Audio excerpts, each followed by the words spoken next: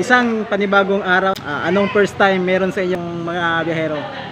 So, today is nandito tayo ngayon sa Balbon Resort no sa Arakan North Cotabato no. Exclusive lang itong resort na to para sa amin no sa ah, aming grupo na UMRC kasi ah, anniversary ng Arakan chapter ngayon. So, update lang ito sa inyong mga biyahero no sa dito na lugar sa Balbon Resort no kasi marami na silang mga bagong ano dito, mga bagong libangan no. Kasama ko pala yung mga kaibigan natin. Ayun, no? So, sila yung mga kasama natin ngayon mga bihero. So, ating ah ipipicture lang natin yung mga bagong mga statwa dito no sa ah, Balbon Resort.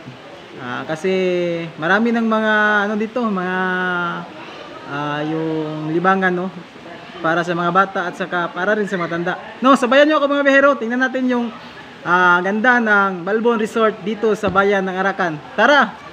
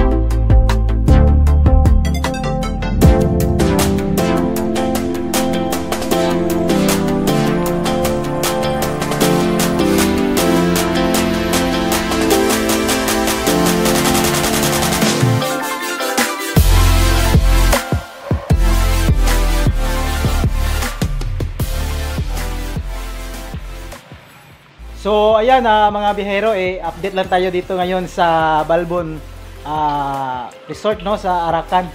So bale yung Balbon Resort is ah, fully finished na siya no. Tapos na yung mga katulad nito yung mga art nila dito no. So merong Naruto dito at saka iba't iba pang mga ah, mga art no. Nakikita niyo dito at ibang uri ng mga hayop no. So samahan niyo ako at ipakita ko sa inyo. Tara.